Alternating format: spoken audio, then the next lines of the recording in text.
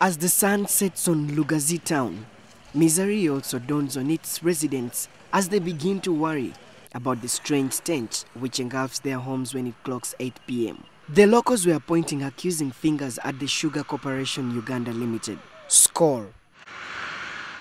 When they wash their sugar cane, their sugar cane, there is the water they remove after washing their sugar canes, and that water they just leave it flow. When it flows, I don't know how, what they mix with that water. It comes out when it is hot, and it, make, it produces a lot of smell.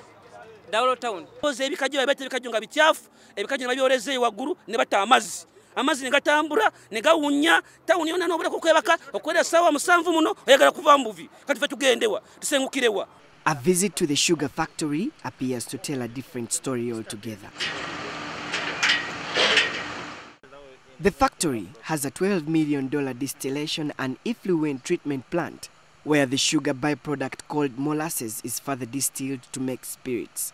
According to SCOUL, the byproducts from the molasses, including dangerous gases like hydrogen sulfide, methane, and carbon dioxide, which would otherwise have caused the smell when discharged into the atmosphere, are however collected through a pipe and further heated up to run the distillation process.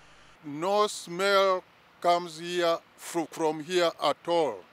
We don't emit any smell that is dangerous to the people. In fact, what we produce here is only alcohol in this place.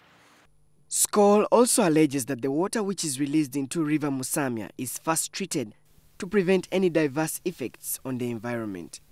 SCOUL then appears to redeem itself, but the stage continues and the source remains a mystery.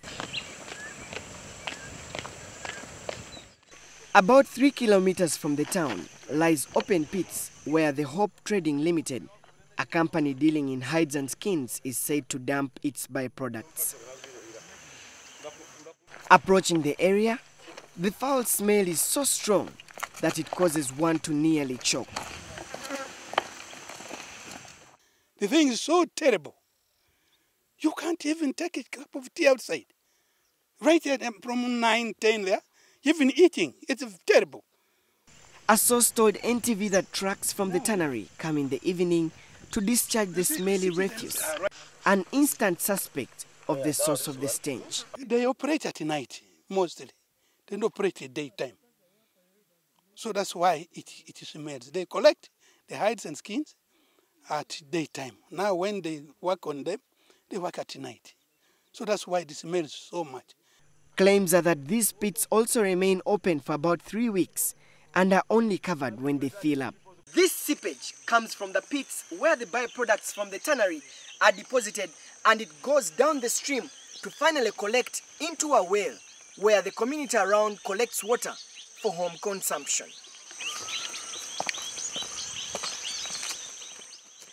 Yet this same place also doubles as a dumping site for all the garbage that is collected from the town council. The garbage is contributing up to 50% of this situation here. The town council says that it has just learnt of the situation amidst claims that the tannery was given the green light to operate by the National Environment Management Authority NEMA. We have, taken, we have talked to more authorities above us. One, I explained to you we have talked to the district environmental department, and they told us, one, we were concerned about whether the material they dump is decomposable. They gave us a go-ahead that is co- decomposable. And then we went to the, the, of course, the neighborhood, communicated to NEMA. NEMA came, and they said, so far this is the best tannery in East Africa. What do you expect a man like me to do when we are crying for investors who give our people jobs? Yes. As the stench continues, officials from NEMA have headed to the area to investigate the matter. Solomon Serwanja, NTV